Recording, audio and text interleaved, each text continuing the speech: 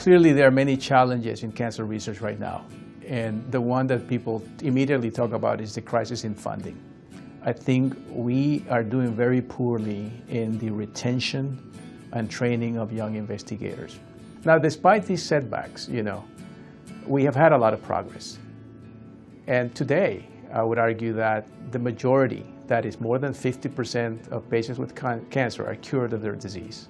There's still many patients dying from cancer.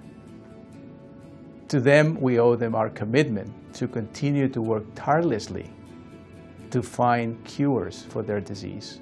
And I'm confident, I'm confident that we will continue to make progress. In my opinion, there are better times that will come.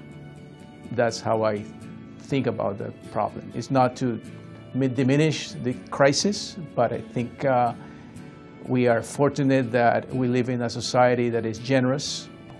I think that uh, in terms of things that I'd like to see in the future would be uh, an even stronger alignment of patients, advocates, and academicians working together because I think the public is going to make a big difference in how to solve this funding crisis.